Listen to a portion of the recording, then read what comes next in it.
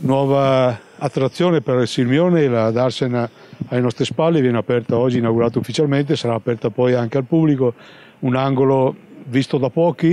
i sirmionesi forse anche loro pochi li hanno visti, siamo col sindaco di Sirmione ancora per un paio di mesi, diceva Alessandro Mattizzoli, una,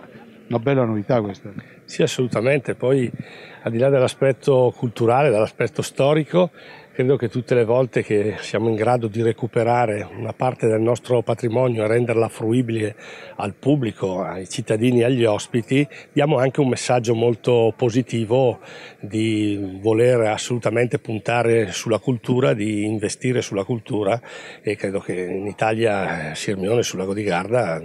ce ne sia estremamente bisogno, anche se molto è già stato fatto. Ecco, lei sindaco, diciamo prima, un paio di mesi ancora, poi passerà in regione e lascia il comune di Simeone dopo quasi dieci anni di mandato perché la scadenza naturale era l'anno, l'anno prossimo. Qualche rammarico e qualche soddisfazione di Simeone? Ma assolutamente è stato un grande onore, una grande esperienza. Mi ha fatto, penso, da un punto di vista politico maturare molto. Ci sono stati dieci anni anche di eh, vice sindaco, assessorato, voglio dire un percorso proprio direi completo. Siamo al diciannovesimo anno e dunque ritengo che così ci fossero tutte le possibilità, eh, le condizioni per provare a misurarsi anche un po' fuori dal territorio sirmionese, sempre tra l'altro in un ambito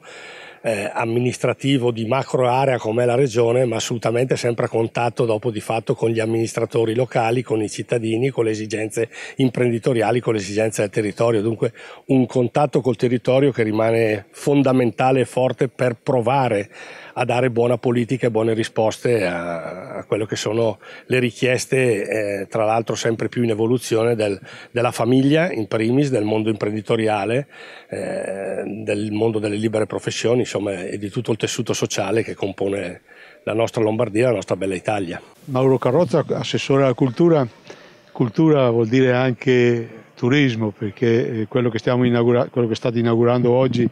questo Darsena, questa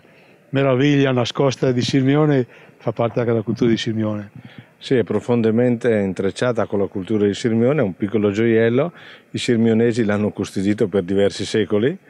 e oggi finalmente anche quest'ultimo pezzo viene riaperto ed è simbolico e ringraziamo per questo il polo museale del dottor Locaso che il primo giorno di apertura sia riservato ai sirmionesi. Quindi una bellissima iniziativa, un sole stupendo